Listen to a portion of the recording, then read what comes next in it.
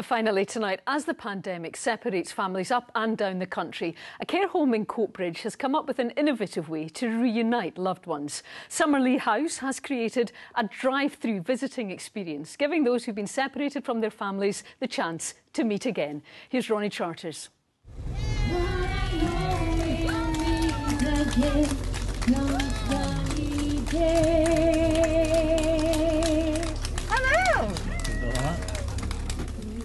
A chance for 89 year old Jack Watt to be reunited with his loved ones.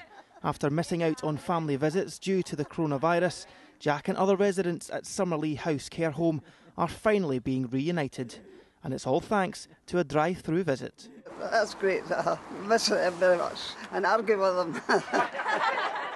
and Jack's been relying on his carers whilst parted from his family. They do what they're told sometimes.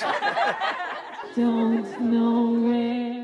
It's called We're Meeting Again, and the residents grace the red carpet before being led to a segregated space in the car park. And after not being able to see their loved ones for months due to lockdown, visitors are also loving the experience. Last time I was in physically in Summerlee was the 23rd of February to tell my mum good news that me and my partner were getting married. So it is lovely, and it's just a nice reminder to my mum that we're here, we love you, we want to see you. Summerlee House is COVID free after shutting its doors before the national lockdown, but with some creativity, the care home saw an opportunity to bring families together. Hello, Mum!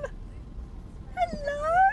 As restrictions started lifting and we saw drive through food outlets opening, we thought, do you know, could we facilitate a visit that the families could see each other in person and it would still be safe?